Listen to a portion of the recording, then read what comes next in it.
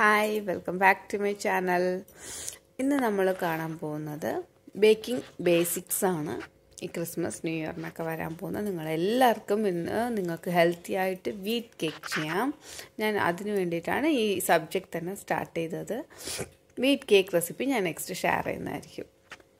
ഇത് ആദ്യം baking clear ആയിട്ട് അറിയില്ല അങ്ങനെയുള്ളവർക്കാണ് ആദ്യം ഇതുപോലത്തെ ബൗൾ. കുറച്ച് ബിഗ് സൈസ് ബൗൾ ഒരു ടു മീഡിയം സൈസ് ബൗൾ ഒരു വൺ ഓർ ടു അങ്ങനെ നിങ്ങൾ തീർച്ചയായിട്ടും വച്ചിരിക്കണം.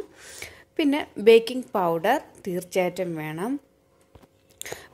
അത് ബേക്കിംഗ് സോഡയും യൂസ് ചെയ്യും. സോഡ നോർമലി നമുക്ക് എപ്പോഴും വീട്ടിൽ ഉണ്ടായിരിക്കുന്നതാണ്. സോ ബേക്കിംഗ് പൗഡർ മാത്രം ഞാൻ കാണിച്ചിട്ടുണ്ട്. എന്നിട്ട് ഇത് egg beater small or big ഏതെങ്കിലും ഒരു സൈസ് തീർച്ചയായിട്ടും വേണം ബേക്കിങ്ങിന് അത് നമ്മൾ ചെയ്യാൻ പോവുകയാണെങ്കിൽ എന്നിട്ട് ഇത് മോൾഡാണ് സംടൈംസ് ഡെക്കറേറ്റ് ചെയ്യാനൊക്കെ വേണ്ടിയിട്ട് ആവശ്യപ്പെട്ടാലോ എന്നാണത്. എന്നിട്ട് സ്പാച്ചുല സ്പാച്ചുല തീർച്ചയായിട്ടും വേണം. സ്പാച്ചുല ഏതെങ്കിലും മോഡലിങ് സ്പാച്ചുല മതി. തീർച്ചയായിട്ടും വേണം. പക്ഷേ എന്നിട്ട് ഇത് മെഷറിങ് സ്പൂണാണ് ഫിഫ്റ്റീൻ എം എൽ അതായത് one one M L one point five or one M L to fifteen M L വരെ ഇതിൽ സ്പൂൺസ് അവൈലബിൾ ആണ്. തീർച്ചയായിട്ടും നമ്മളൊരു റെസിപ്പി ചെയ്യുമ്പോഴത്തേനും അതിൽ എന്തോന്നാണ് മെഷർമെന്റ്സ് അത് യൂസ് ചെയ്ത് മാത്രമേ ചെയ്യാൻ പാടുള്ളൂ. എന്നാൽ മാത്രമാണ് ആ സോഫ്റ്റ്നെസ് ആ ടേസ്റ്റ് എല്ലാം നമുക്ക് കിട്ടുള്ളൂ. അതിന് വേണ്ടിയിട്ടാണ് ഇത് fifteen M L fifteen grams അത് ഗ്രാംസിലും ഇരിക്കും മെഷർമെന്റ്സിലും ഇരിക്കും. എന്നിട്ട് എല്ലാ ഞാനിതിൽ നിങ്ങൾക്ക് കാണിക്കുന്നുണ്ട്. എന്നിട്ട് സീവിങ് വെസൽ വേണം. അതായത് അരിപ്പ. അരിപ്പ തീർച്ചയായിട്ടും വേണം. എന്താ വെച്ചാൽ നമ്മൾ ഒരു മിനിമം ഹൈറ്റ് അതായത് നമ്മൾ ഹാഫ് ഹാൻഡിന്റെ ഹൈറ്റിന് വെച്ചിട്ട് വേണം മാവ് എപ്പോഴും അരിക്കാൻ. ഞാൻ വീറ്റ് റെസിപ്പിയുടെ കാര്യമാണ് പറയുന്നത് മൈദ റെസിപ്പീസ് ഞാൻ ഷെയർ ചെയ്യില്ല. വീറ്റ് കേക്കിന്റെ റെസിപ്പീസ് ആയിരിക്കും. അല്ലെങ്കിൽ വീട്ടിലുള്ള എന്തായാലും റെസിപ്പീസ് അതിന് നമ്മൾ എപ്പോഴും സെൽഫ് റൈസിങ് പൗഡറായിട്ട് പ്രിപ്പയർ ചെയ്യണം. സെൽഫ് റൈസിങ് പൗഡർ എന്ന് വെച്ചാൽ അരിപ്പയിൽ മിനിമം ഹാഫ് ഹാൻഡിന്റെ അത്ര ഹൈറ്റിൽ അടിയിൽ പേപ്പർ വെച്ചിട്ട് നല്ല ആ ഹൈറ്റിന് വെച്ച് അരിക്കണം. ഒരു ത്രീ ടൈംസ് എന്നിട്ട് അതിൽ സം ഇൻഗ്രീഡിയൻസ് ഒക്കെ ചേർത്താൽ മാത്രമാണ് അത് സെൽഫ് റൈസിങ് പൗഡർ ആവുന്നത്. എന്നിട്ട് ആ മിക്സിൽ അതായത് നമ്മൾ ആ വീറ്റ് ഫ്ലോറിൽ കേക്ക് ഉണ്ടാക്കുമ്പോഴത്തേനും സോഫ്റ്റ്നെസ് ആൻഡ് ടേസ്റ്റ് നല്ല ഡിഫർ ആവും. അതിന് വേണ്ടിയിട്ടാണ് ഞാൻ അത് പറഞ്ഞത്. എന്നിട്ട് മെഷറിംഗ് കപ്സ് നോർമലി എല്ലാവർക്കും അറിയുന്നതായിരിക്കും. തീർച്ചയായിട്ടും നിങ്ങൾ മെഷറിംഗ് കപ്സ് മെഷറിംഗ് ഡീറ്റെയിൽസ് എന്തൊക്കെയാണോ കേക്കിന് പറഞ്ഞേക്കുന്നത് അത് ഫോളോ ചെയ്താൽ മാത്രമാണ് നിങ്ങൾക്ക് കറക്റ്റ് ടെക്സ്ചർ ടേസ്റ്റ് എല്ലാം കിട്ടുള്ളൂ. അതിന് വേണ്ടിയിട്ടാണ് ഞാൻ തിരികെ തിരികെ പറയുന്നത്. എന്നിട്ട് ഞാൻ ഇതിൽ മൈദ ചേർക്കുന്നില്ല. തീർച്ചയായിട്ടും ചേർക്കാതെ ആയിരിക്കും നിങ്ങൾക്ക് റെസിപ്പീസ് പറയുന്നത്. അതിനുശേഷം നിങ്ങൾക്ക് എന്തെങ്കിലും ഡൗട്ട്സ് ഉണ്ടെങ്കിൽ പ്ലീസ് കമന്റ് ചെയ്താൽ മതി. ഞാൻ നിങ്ങൾക്ക് റെസ്പോണ്ട് ചെയ്യാം.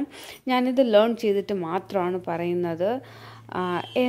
എന്നിട്ട് നിങ്ങൾ ഇതിൽ നെക്സ്റ്റ് എന്തോന്നൊക്കെ ഇമ്പോർട്ടന്റ് എന്ന് വെച്ചാൽ ഇപ്പോൾ ഇത്രയും ബേസിക് ആയിട്ട് നിങ്ങൾക്ക് വേണം. ഇത്രയും ഉണ്ടെങ്കിൽ മാത്രമേ നിങ്ങൾക്ക് ബേക്കിംഗ് ചെയ്യാൻ പറ്റുള്ളൂ.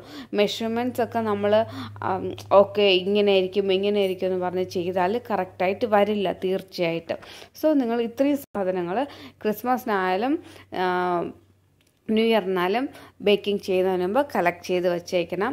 എന്നിട്ട് ബേക്കിംഗ് ചെയ്യുന്നതിന് മുമ്പ് അതായത് വീട്ടിൽ ചെയ്യുന്നതുകൊണ്ട് ഞാൻ സ്പെഷ്യലൈസ് ചെയ്ത് പറയുകയാണ് സ്പാച്ചുല നമ്മൾ യൂസ് ചെയ്യുന്നത് ബേറ്ററൊക്കെ യൂസ് ചെയ്യുന്നത് സം മെത്തേഡ്സിലാണ് അത് സോഫ്റ്റ്നെസ് കിട്ടാൻ വേണ്ടിയിട്ട്.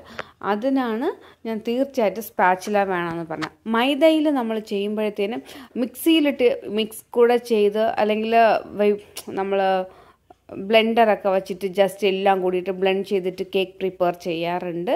പക്ഷേ ഇതങ്ങനെ ചെയ്താൽ നിങ്ങൾക്ക് അങ്ങനെ നല്ലതായിട്ട് വരില്ല. അതുകൊണ്ടാണ് ഞാൻ ഇത് ഇത്രയും ബേസിക് ഐറ്റംസ് തീർച്ചയായിട്ടും വേണമെന്ന് പറഞ്ഞത്. എന്നിട്ട് ഞാനിതിൽ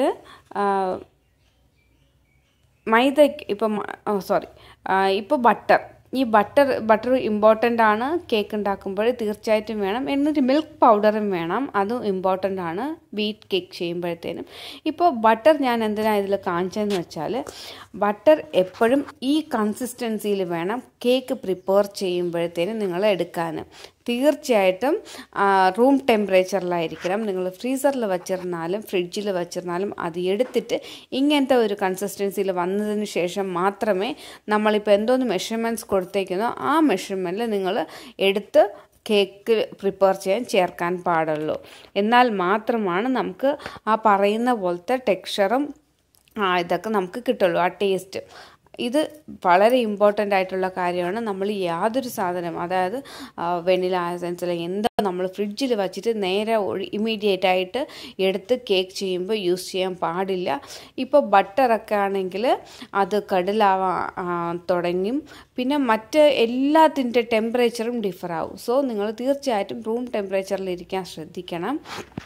ഞാൻ നെക്സ്റ്റ് ആദ്യം പോകുന്ന വീറ്റ് ബൺ കേക്കാണ് ഇപ്പം നിങ്ങൾ കൺസിസ്റ്റൻസി കാണാൻ വേണ്ടിയിട്ടാണ് ഞാനിത് നിങ്ങൾക്ക് ഷെയർ ചെയ്യുന്നത്. നമ്മൾ നെക്സ്റ്റ് കാണാൻ പോകുന്നത് വീറ്റ് ബനാന കേക്കാണ് അതിനുശേഷം തീർച്ചയായിട്ടും ഫ്രൂട്ട് കേക്ക് നിങ്ങൾക്ക് ഞാൻ ക്രിസ്മസിനും ന്യൂ ഇയറിനും അല്ലാതെ ഒരു കേക്ക് റെസിപ്പിയും ഷെയർ ചെയ്യും. എല്ലാം വീറ്റ് ജാഗ്രി മിക്സറിലായിരിക്കും പിന്നെ എന്റെ വീഡിയോസ് കാണുന്ന എല്ലാവർക്കും താങ്ക് യു പ്ലീസ് എന്റെ ചാനലിനൊന്ന് പുതിയതായിട്ട് കാണുന്നവർ കണ്ട് സപ്പോർട്ട് ചെയ്യണം സബ്സ്ക്രൈബ് ചെയ്തിട്ട്. Thank you thank you for watching